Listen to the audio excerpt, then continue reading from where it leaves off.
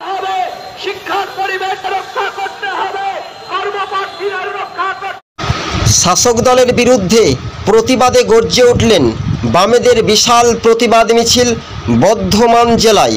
যে জেলা বামেদের একসময় শক্ত ঘাঁটি গড় ছিল, আর সেই গড়ে বাম ছাত্রজীব সংগঠনের বিশাল ঐতিহাসিক প্রতিবাদ মিছিল, যে বর্ধমানে একসময় বামেদের লাল ঝান্ডার দুর্গ।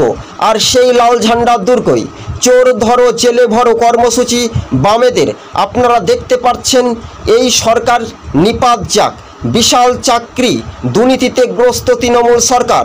এরই প্রতিবাদে বাম ছাত্রজীব সংগঠন একত্রিতভাবে, জোটবদ্ধভাবে মানুষ তাদের মিছিলে, প্রতিবাদ মিছিলে সামিল হয়েছে।